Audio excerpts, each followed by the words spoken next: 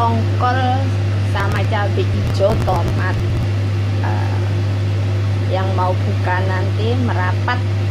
Ya yuk ini pasti enak banget tuh.